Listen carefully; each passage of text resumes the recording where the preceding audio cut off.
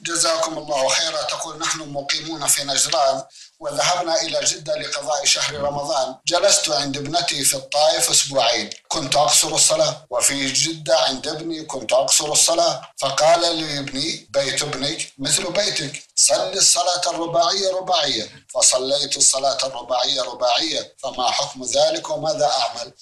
أما قوله إن بيت ابنك مثل بيتك فهذا غير صحيح. ما دام أن بيتها وسكنها في نجران وهي إنما جاءت زائرة فإنها تكون مسافرة. ولكن ولكن إقامتها أكثر من أربعة أيام وهي تعرف ذلك.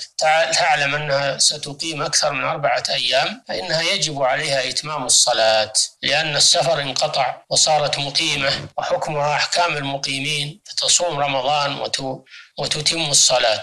أما إذا كانت لا تعرف الإقامة ولا تدري كم هي فإنها لا بأس أن تقصر الصلاة لأنها ما زالت مسافرة. نعم.